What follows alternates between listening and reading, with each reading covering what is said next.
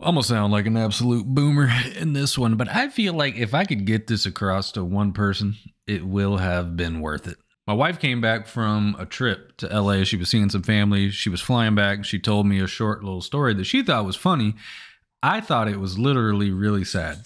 And she said that she was sitting there waiting for her flight and she saw a couple walk past her and they were decked out in some Louis Vuitton luggage and is that my damn phone going off?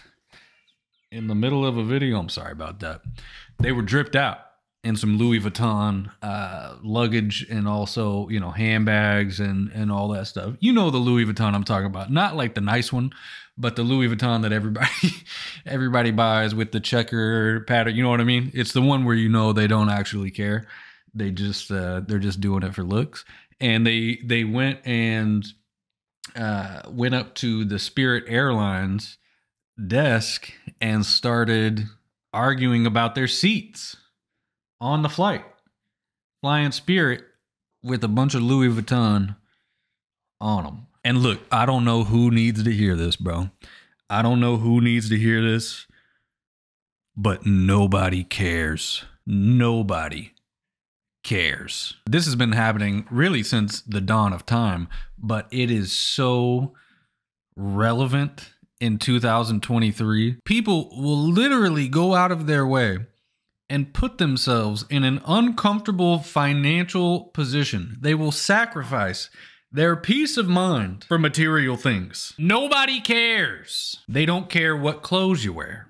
They don't care what car you drive. They don't care if you fly private, fly first class, or fly economy.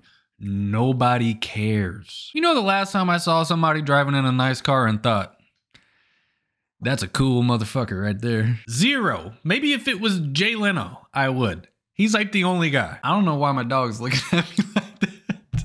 Do you need to go outside? Hey, I'm making a video. Take it from somebody who has wasted money growing up. I only know this because I've been there and I've done it. But let me spread a little game to you from somebody in the future. If you are young, if you are still coming up, if you're still grinding or trying to make it or whatever, having peace of mind and the ability to do something is actually far greater than doing the thing or having the thing. Having the ability to go out and buy a nice car, or the ability to go out and buy a nice watch, or the ability to do whatever it is people think they need to do to flaunt their money. Just having the ability to do it is enough for your mental. This is what's most important. It's the mental space. It's financial security. It, it's comfortableness. It's it's it's knowing that the money's there. People want to get some money so they can turn around and spend it as soon as they got it. Dog, the money is the goal.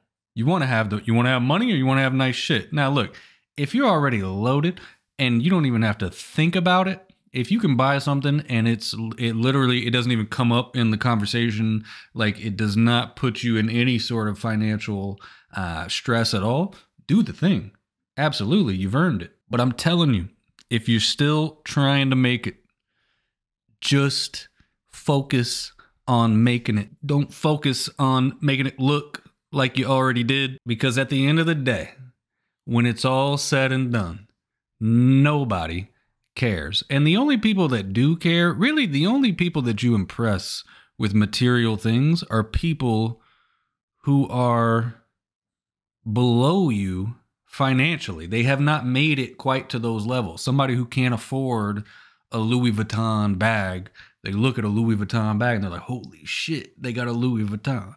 You know, somebody who can't afford a nice car, they say, holy shit, that's a dope car.